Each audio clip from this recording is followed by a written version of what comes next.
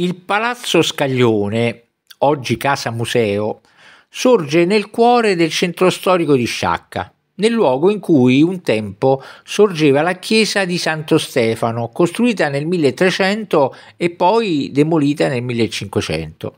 Il cavaliere Francesco Scaglione fu un uomo di grande cultura e di immensa curiosità e che amò raccogliere e circondarsi di opere d'arte ed oggetti vari.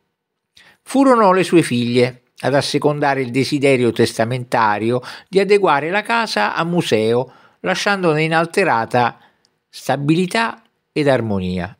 Il palazzo, a due livelli, è diviso in varie sale decorate a tempera, con motivi a greca e i pezzi da collezione sono svariati.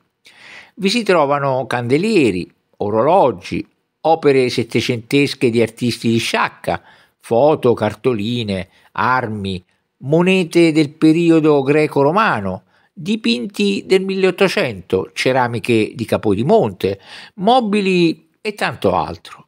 I soffitti affrescati ed i pregiati pavimenti in maiolica del 1800 sono espressione di una notevole sintassi decorativa tipica della Sicilia, che mescola motivi ornamentali siculi, arabi, catalani, rinascimentali e barocchi.